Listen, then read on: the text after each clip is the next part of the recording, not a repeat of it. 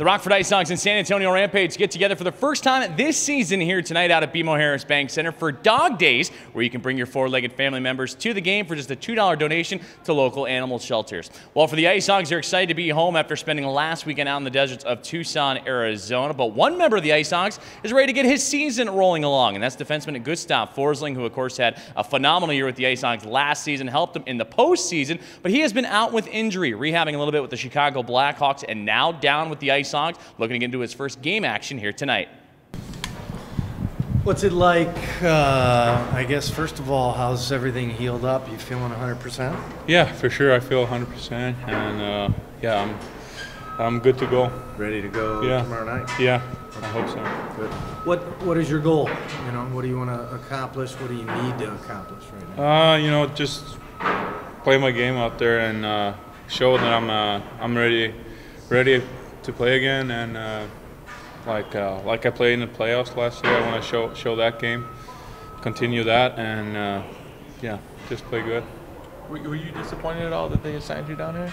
Uh, no, I uh, I actually feel good about it. Like uh, take it positive. They uh, so I can get some games. It's been a long time since I played, so I feel feel good to to play here.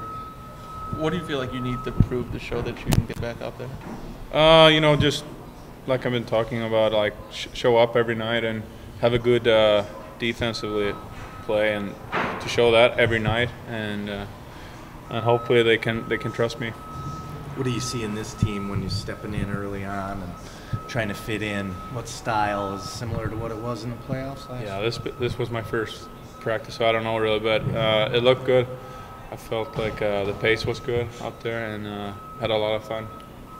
How different do you feel, I guess, year three and as a pro? I guess, what have you, where do you see your game like, grown from, from the start?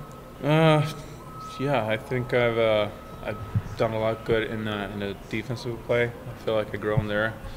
Uh, like I said, I want to play like I played in the last couple of games in the playoffs. I felt felt really good there. Uh, so I want to continue that.